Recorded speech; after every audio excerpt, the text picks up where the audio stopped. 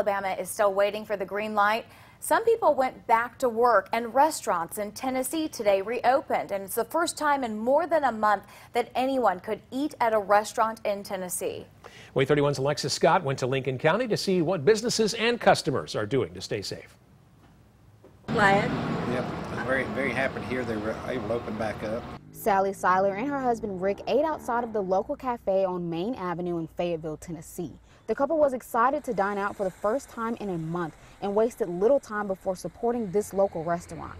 Restaurant owners wouldn't let me shoot video inside, but the Seilers said business seemed a little slow when they went in. They also told me all workers and almost everyone inside the local cafe wore masks. I know there's a lot of people anxious to actually step foot back into the store, and so we are so excited to have everybody coming in. While several businesses here in Lincoln County are open and ready for business, there are others like Bumblebee Baby and Kids that's awaiting for Wednesday when all retail businesses can open again and they can see their customers.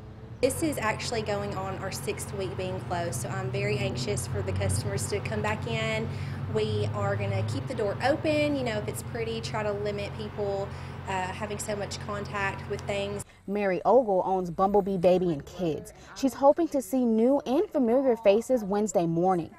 Ogle closed her store in early March before Tennessee issued a stay-at-home order. And while customers couldn't enter, she stayed open for delivery and curbside pickup orders of online orders. This has been a trying time for the business. It has um, kind of forced me to look at other options and grow and, you know, implement those new changes that I was uh, talking about. Ogle appreciates the support she sees across the community, and the Seilers told me they're happy to provide it looking forward to whatever we can do to help get the economy going back. So, wish them luck. I know this has been hard on, on nearly everybody.